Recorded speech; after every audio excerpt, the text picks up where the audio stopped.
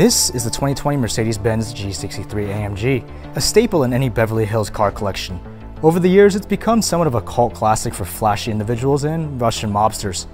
And that might be because it costs north of 170 grand or that it looks tough enough to eat a Humvee for breakfast. Either way, it's a lot of truck, and when I mean a lot, I mean it weighs almost 5,900 pounds. But to move that weight, it's also got a lot of punch.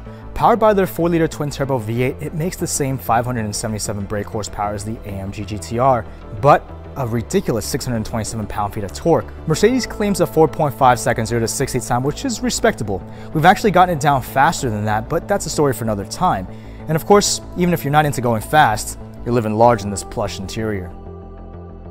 On the other side of the ring, we've got the 2020 BMW X7 M50i. They technically don't have anything as ostentatious as the G-Wagon. The closest thing they've got is this X7. Well, maybe actually the Alpina XB7, but we aren't that lucky. It is a significantly bigger truck with a third row of seats, but the interior is also quite a nice place to be. However, you'll save about 50 grand with the X7. Powered by the same 4.4 liter twin turbo V8 that's in my wife's X6 M50, it spits out 523 horsepower and 553 pounds of torque. So it sounds like it's at a disadvantage here, which it is, but it's also lighter by 200 pounds. And knowing BMW, that 523 horsepower may actually be closer to 550. Regardless, it also does a 4.5 second 0 to 60 time.